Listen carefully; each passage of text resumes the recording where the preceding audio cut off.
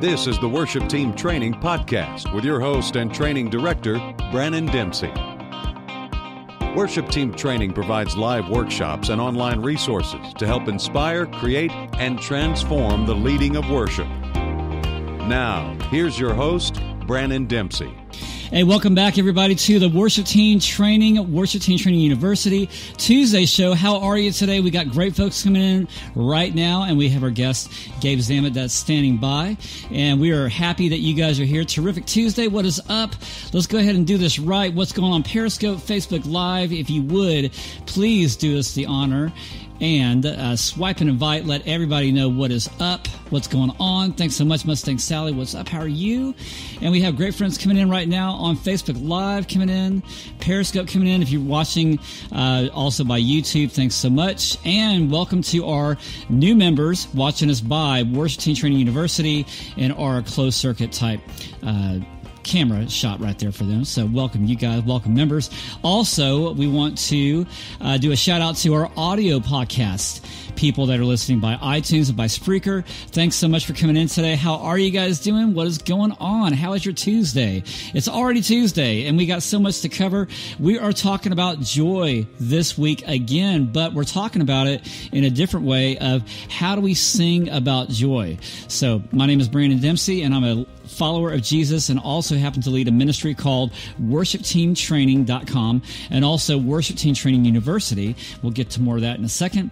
We live broadcast just like this on Tuesdays at 11 a.m. And then we have a special broadcast for members of our university program on Thursdays at 11. And that's special more in-depth training. And by the way, you can't not miss the next guest that's coming up this Thursday. It's just going to rock your world.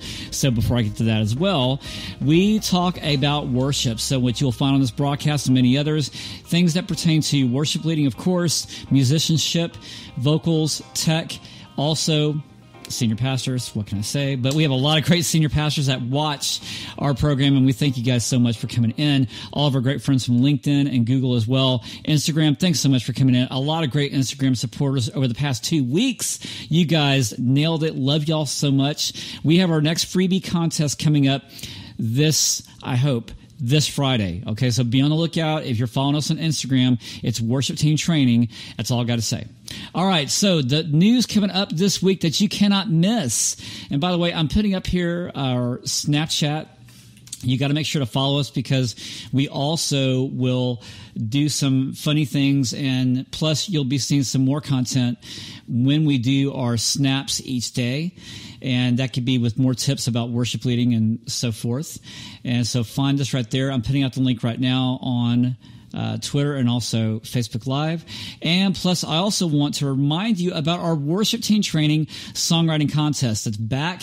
It's May the 26th. Don't miss it. If you have songs sitting on your shelf, get them off and get them heard because God wants you to sing them in your church as well. And this is just another way to do it. There's a lot of other contests out there, but we like ours and you should like it too because the grand prize winner is going to be a recipient of one of the brand new model microphones from Shure.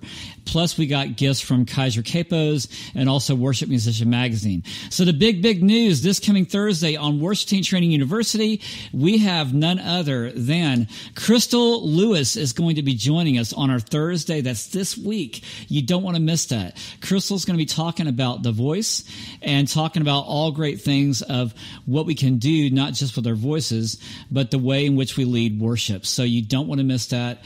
Crystal, we've been talking already for the past uh, month, and she's excited. So you you want to make sure that you get there. And so how do you get there? Good question. You want to join our university program, and I'm putting out the link right now. So hold up, we got time. It's all right. I know we're going through the house cleaning stuff, and it's taking a minute, but just chill. It's all good.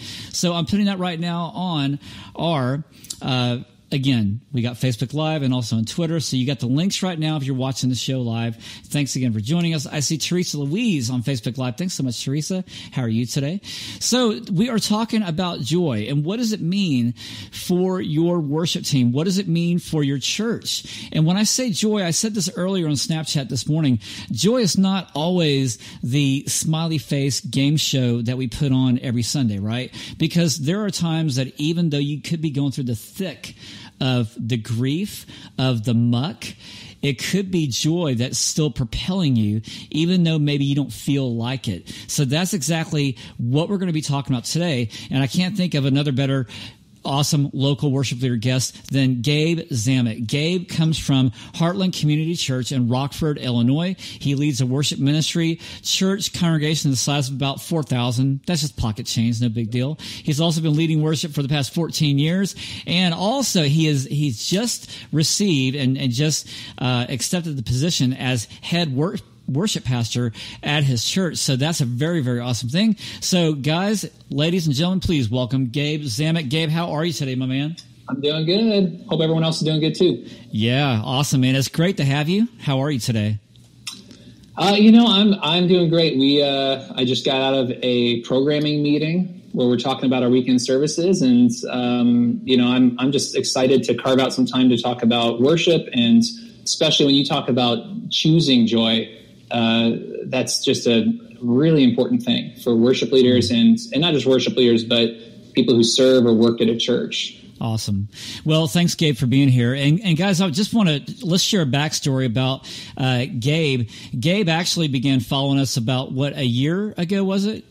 Maybe? You know, I've been following. I don't know if it, I, I, could say like following in secret for a while, but then I think we had our first conversation maybe about a year ago. Yeah, um, and and talked about worship team training, and I'm a big fan of uh, just growth and development and training.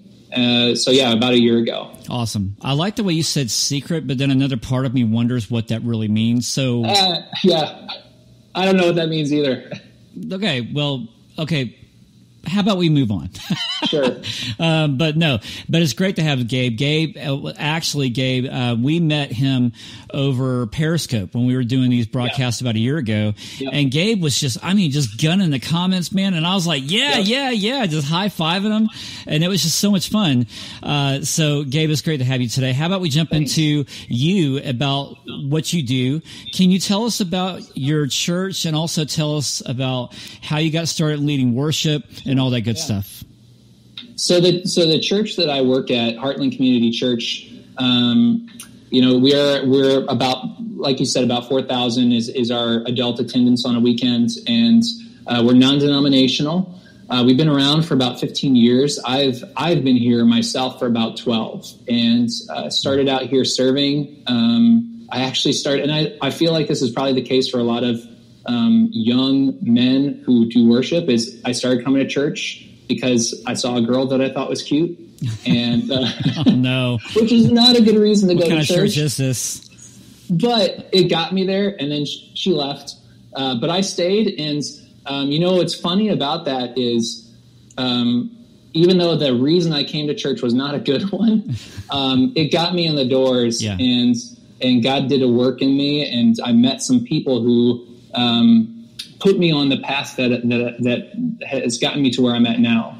Hmm. So um, it's it's just so interesting to think back on that. But yeah, so I started serving, um, just singing on the team, and uh, didn't really see worship as as something that I would want to do as a as a career or as a as a job. Um, and I still don't see it necessarily as a job, but so much as a calling. Um, but uh, went volunteered, and then I, I fell in love with with music and worship and and uh, went away to school, got my degree um, in uh, contemporary Christian, Christian music and worship arts, and uh, then I came back and interned here, and I just kind of worked my way from an intern to part time mm-hmm. to then um, uh, full time, and I, I was an admin and just kind of learned a little bit of everything on my way to then being a worship leader and then student ministries worship director.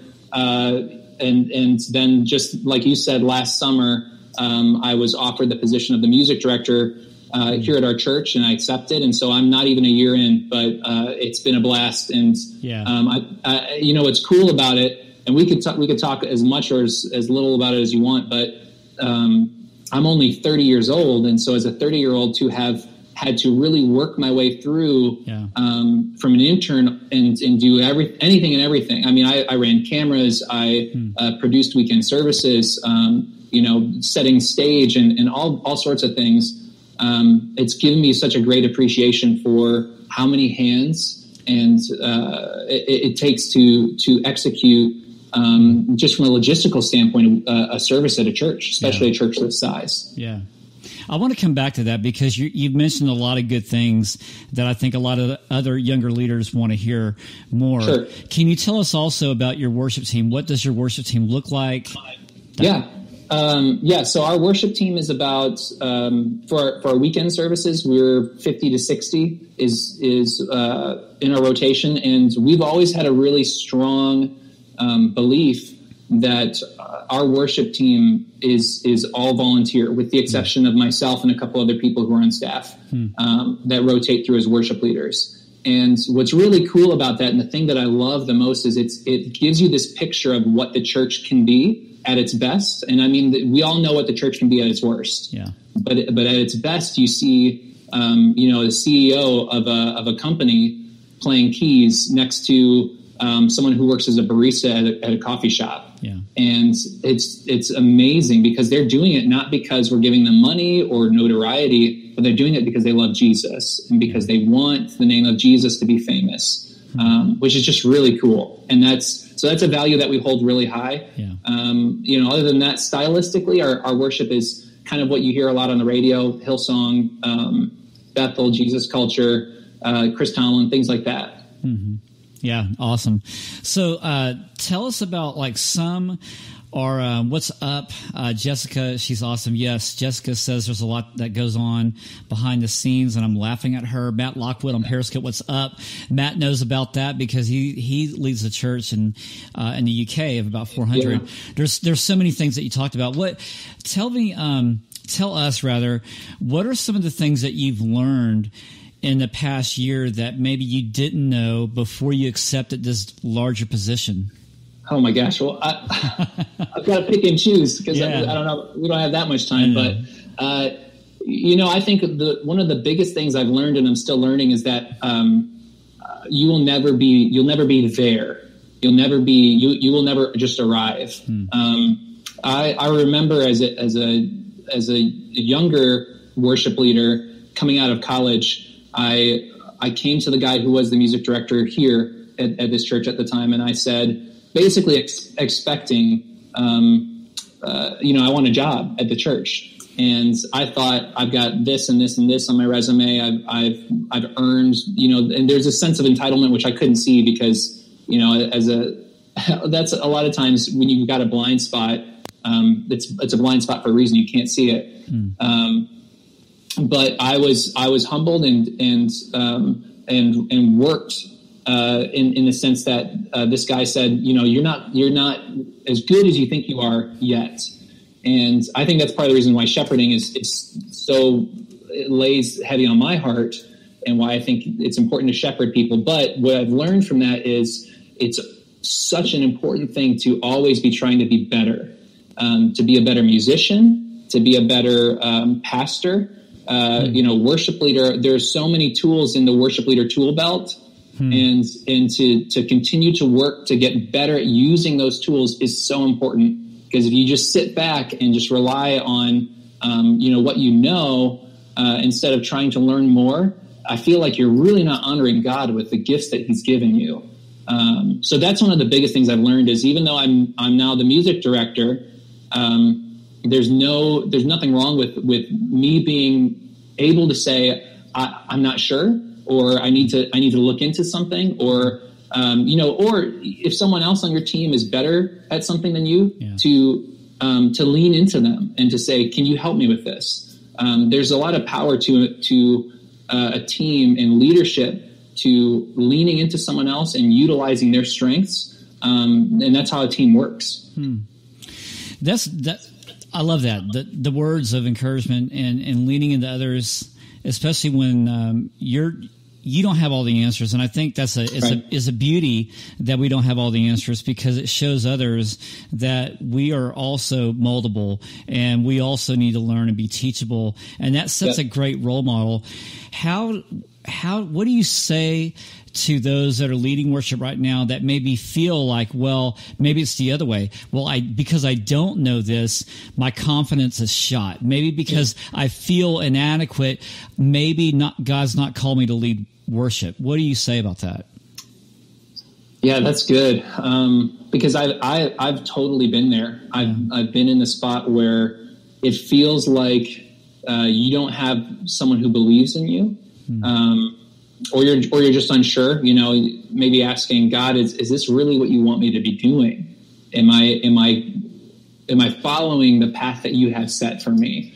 Uh, and so what I would say is, I think what pulled me through that is, is prayer. Um, and and then intentionally seeking out um, mentors. So to, to find someone who does know more than me, um, and and and it could be um, it, it, might not even be related to to worship, but I think to find someone who who has wisdom and experience is so valuable. And I still do that. There's there are people that I go to and say, um, you know, I, I feel like this is a good idea, but I'm not sure. What do you think? Mm-hmm. And and that um, especially when you're struggling with and you're wrestling with am i making the right decision for my life am i am i really following god's call or am I, or is this a selfish thing um, there is there, there's it, it, it's just really important i think to find someone to to lean into and to say um, you know what do you think? Uh, what kind of wisdom can you impart in me?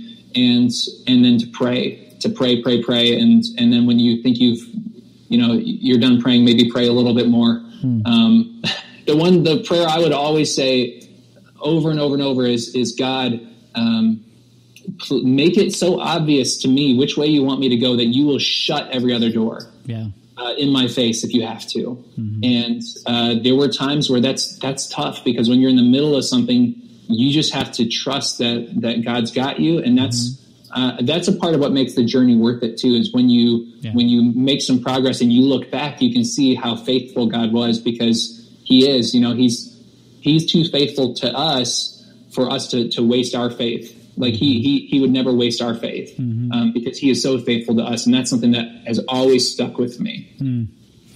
Awesome. Thanks for that. And and we and we want to uh, say thanks for you guys on Periscope. Thanks for the hearts. You guys are awesome. And the likes on uh, Facebook Live. Thanks for that.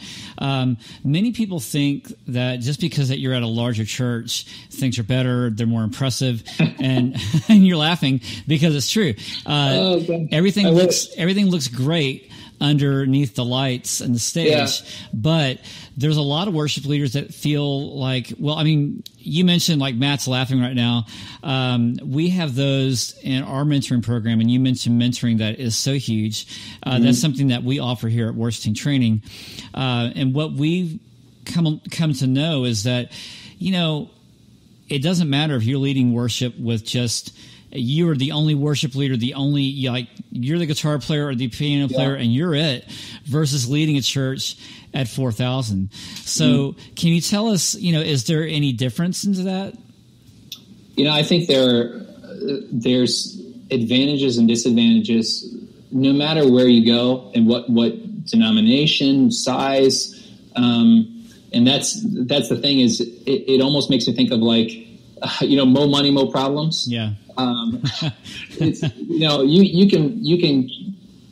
There are there are definitely things that are that are appealing, especially selfishly. You think, oh, I I'm leading worship in front of you know so many people, and that and and that kind of does this thing with your ego where you feel good about about what you're doing, and that's such a dangerous thing. Mm. Um, and that's the, the the biggest pitfall is then you start thinking it's it's me, it's what I'm doing mm-hmm. that is making this impactful or making this good or important.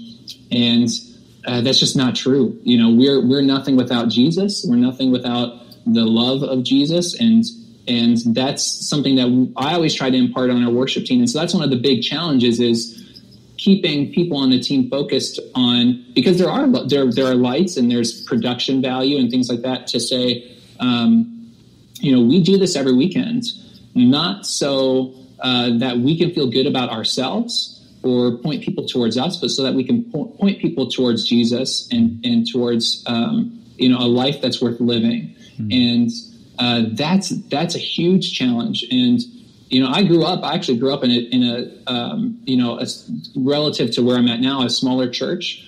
Um, so I I've seen both sides, uh, mm-hmm. and there are things that I that I really love and I miss about that. Uh, one of the things I miss is uh, sometimes th- there's less drama. Yeah. yes. And there's less, there's just less to have to worry about. And, and, and with certain areas and there's more with other areas. And so it, it you know, it, it's such a misconception to think, um, you like, you know, to look at another church and to say you got it better or you, or, well, you wouldn't understand. Um, they're just different.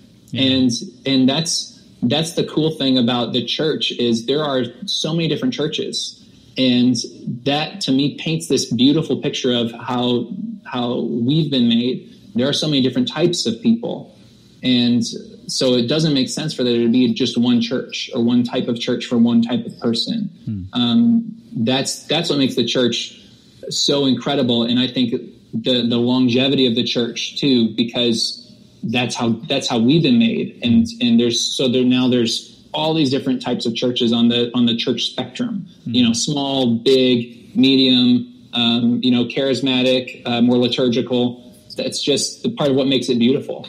Yeah. So tell us, what does it mean to be joyful? If we can just shift gears for a moment, what does it sure. mean to be joyful?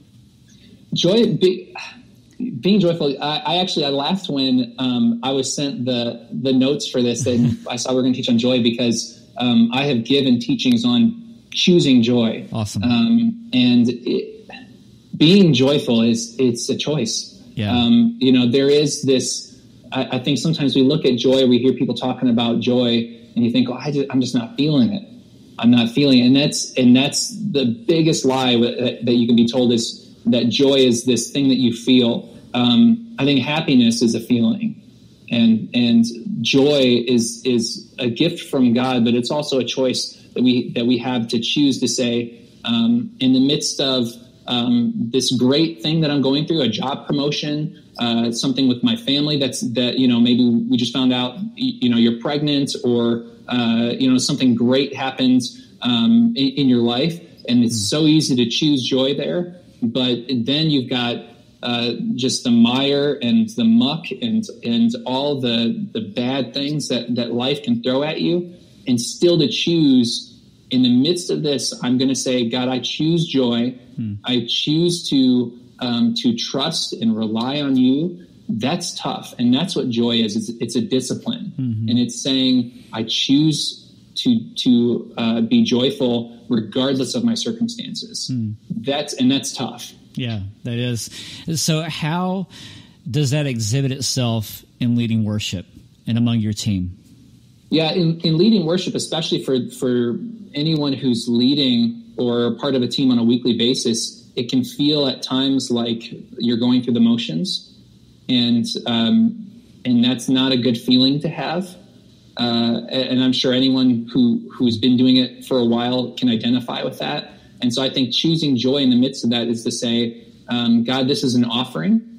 I'm not worshiping because I because it feels good. I'm I'm worshiping you because I'm I'm offering you my best because it's what you deserve. Hmm. And so I'm I'm it's an outpour of, of my heart based on uh, what you've done for me, what you're doing, and what you will, will do for me. Hmm. And so, how do you get your team to pull through, or mm-hmm. maybe other worship leaders to pull through that when they're in a time of maybe uh, it could be anything. Maybe um, before rehearsal, you had a team member that came to you and said, "Hey, um, this happened in my life, and now I'm broken." And then yeah. you got to lead worship, or maybe it could be something technical, something didn't work out right, the sound system's going array, whatever that it could be, and it's deriding your joy. How do you, as a worship leader, work through those turbulences? Yeah, I think I think a lot of that does come from especially in, in the midst of your team, it's going to come from you, the, the whoever's leading that. Hmm. Um, for example, just a few weeks ago, you know, we had Easter, and uh, and here at our church, we had a, an hour and a half before our first service on Easter. We had all of our lights go down, our lighting system went oh, down. Wow. Um, you know, we had this huge uh, uh, opening number that we had been working on with with lights and this you know thing on stage that was going to spin around, and it was really cool and and we put all this time and effort into it, and uh, that you, could you could almost see kind of the air come out of the room a little bit as as we're going through our run through, and people are going, "Oh my gosh, this isn't gonna this isn't gonna happen now," and and you can you can kind of get that sense of like, well, what do we do? And so I gathered up our team and I said, um, you know, whether we've got our microphones working or the lights or whatever, we're here to worship God. And, and we don't need all that other stuff to make that happen. Hmm. So, um, I think I think it starts it starts with you and and again going back to just that choice of it would have been so easy for me to say man that this sucks and yeah I don't know what to do um, and and but I chose in that in that moment to say uh, God I'm gonna I'm gonna trust that that no matter what um, people are going to be led into your presence today hmm. uh, you know whether things go the way we planned or not and um, so we gathered together and uh, and we just refocused ourselves. And I think that's that's the important thing is sometimes when you're experiencing that to, to take a step back and take a breath and then just kind of refocus and come back forward renewed and saying, um, all right, I'm ready to go. And I'm, and I'm, I'm ready to go because it's not about me. It's about, it's about him. Yeah, absolutely. I love that. Uh, so guys, you've heard it here from Gabe. Uh, you know, it, it really doesn't matter what capacity the church that God's called you to lead. That's the whole point, though. God's called you to lead, and you are to step into that. And we're told from Scripture what Jesus said. He sent us the Holy Spirit as our comfort and guide. He'll never leave us, never forsake us. Mm. And so, Gabe, uh, it's been awesome just to hear your journey and how God's guided you through all the terrain that you've been through, and still as you're at New Horizons right now and the future is still unknown, but there you are just pressing on, man. So it's just awesome to see that. Thanks. Thank you. Yeah. Thank you for joining us today, Gabe. It's been a pleasure. Yeah. Anytime. Yeah, awesome. Guys, we're going to have Gabe come back at another session that we'll have on a Tuesday. And we just want to remind you that it, this is all about getting the help that you need in terms of what God is doing through you in your life. We have two ways that we can help. Um, I've given you the link right here to joining our university program that we have. And on that university program, you can choose from three different level memberships that we have, and they're all to encourage you in your walk. The content just like this, Crystal Lewis, that's going to come on Thursday, monthly webinars, ebook devotionals, and also ebook music. We also have things in the store of other music help and videos, workshops we're putting on there as well. More and more content's being added daily and weekly, uh, plus the near 700 um, the near 700 videos that we have right now. And Susan Fontaine Godwin, who says hello, what's up, Susan, who's on uh, Facebook Live, she too joined us a, a couple, three weeks ago. So you're going to have great teachers like this all the time. And at the same time, if you are in that position where you feel like, you know, I need to have that mentoring in my life of what Gabe was talking about, you can get the same thing right here at worshipteamtraining.com slash mentoring or even at the university site because we take mentoring seriously. Guys like Gabe, myself, I mean, I've been through it as well. Susan, thanks so much for that sweet comment. She says WT provides such amazing resources for worship teams. Thank you, Susan. Um, I know, just like Gabe, that, you know, when I started out leading worship, uh, just like Gabe here. I mean, I really didn't know much of what to do at all. It was just more like, God, you're going to have to do this for me. This is not about me. This is about you. But if I make it about me, it becomes less about you. And then I'm going to face all those mountains and I'm going to be Uh, not have the ability to climb them, they're going to defeat me. Don't let that happen to you. If you're in your 20s, if you're in your 30s, if you're in your 40s or your 50s, God has not called you to quit. You see the living truth right here with Gabe and what he's been going through, and many other worship leaders, female worship leaders. I'm talking to you because a lot of you ladies out there also are in that fight. Each of us are, no matter if you're working with a pastor, leadership that may be like a mountain to you, or it could be something else that's going on in your life that seems to grab a hold of you. God God not only not only wants to free from that, but He wants to grow you from that. And if you look at all the stories in the Bible, you never see a victory where somebody ran apart from God and found that solution. It was always with God in the trenches. So if that's you, look, you're perfect right where you are, and God is right there with you to help. And this is where we come in as well. So we love you. Thanks so much for joining us today. Check us back at WTTU.co for the university and also our workshops that are one to one that come to your church, and our mentoring that walks beside you. Thanks, Sheila. Good to have you, Sheila Patterson, over uh, over the seas there. And we look forward to coming back next Tuesday. We're gonna have a new local worship leader guest, just like Gabe. Well, won't be just like Gabe. You'll be somebody else. Uh, but we're going to have a lot of fun. And also, Crystal Lewis coming up. We also have a webinar put on by Dwayne Moore at the end of this month. So you want to be sure to sign up. We got a lot of great things going. Don't forget the songwriting contest. If you got those songs that you just want to get out there, sign up today. You can find the, the links right there on Facebook Live and also on our Twitter feed. Gabe, thanks so much again for joining us, bro. It's been great to have you.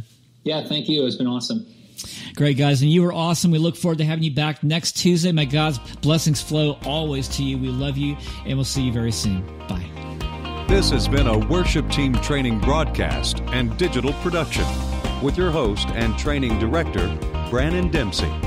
Worship Team Training provides live workshops and online resources to help inspire, create, and transform the leading of worship. We'll see you again right here on worshipteamtraining.com.